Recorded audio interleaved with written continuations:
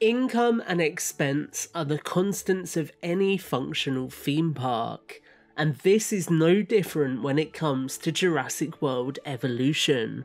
Your income comes in two main forms your overall park income, which is influenced by how many dinosaurs and attractions you have, and also your additional income, which is generated by things like shops and restaurants, which you are able to place down within your park.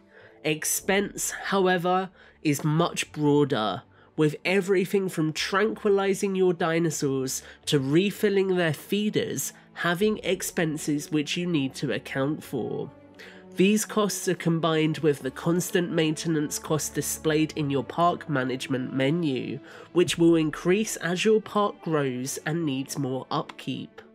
You will also have one-off costs for every dinosaur you hatch, and these can, with genetic modifications, reach the millions. So be aware of this and plan your revenue accordingly.